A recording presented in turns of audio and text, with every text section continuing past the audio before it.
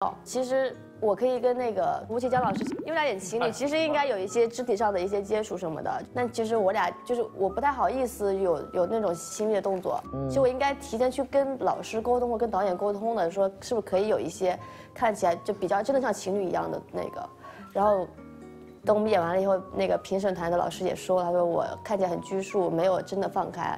你应该提前跟他预热一下，搂搂抱抱一下，不是预热，什么东西啊？你要打董导演是吗？这才是真实的他，你看到了吗？不是，是，其实应该沟通一下，说有没有这种可以看起来更亲密的一些那个表演方式，我是这样想的。你有问题吗？就演这种情侣戏什么之类的？演情侣戏，我还没有演过情侣。但是这个情你还没有演过情侣戏？你没有演过情侣戏？我没有啊，哎，咱们俩那个短片是什么啊？请这个人真的无聊。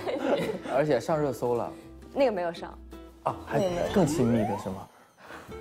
我就不该接这个茬。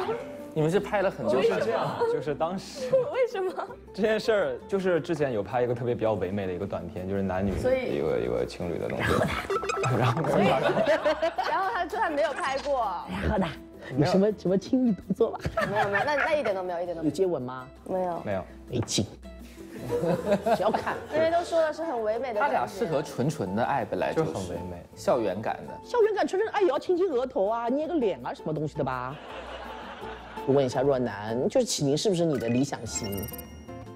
当然不是了，你回答的那么快，嗯，为什么呢？你觉得我可能对长得好看的男孩子都不是我的类型吧，因为我是个很没有安全感的男孩子。所以你在夸奖他，因为你觉得他长得好看。他是好看可是你喜欢梧桐，说明梧桐长得不好那看。他只是证明确实也不喜欢我，不是因为聊一下。我觉得如果太好看，我我会没有安全感吧。我是这种类型。张若楠是你的理想型吗？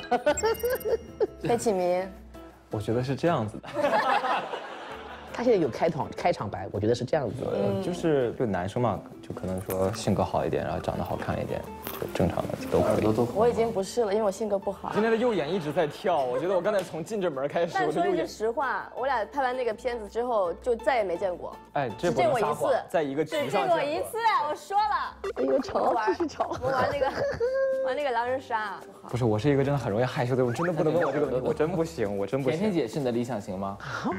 我我，就是我，嗯，她性格很好。啊不不不，